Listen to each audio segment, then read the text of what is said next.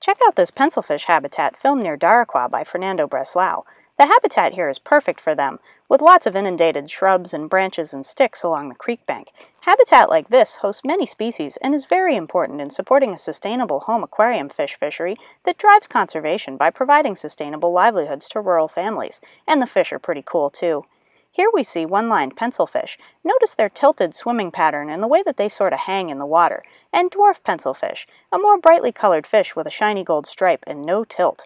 And Hemigrammus annulus, with their red eyes that were seen at a lot of different sites. And you can see again on the Unifasciatus that there's that tilted oblique stance that really helps them blend in with the sticks. It's really cool to see fish like this in the wild, and to know that our connection to them as fish keepers helps drive conservation and preserves this important rainforest habitat.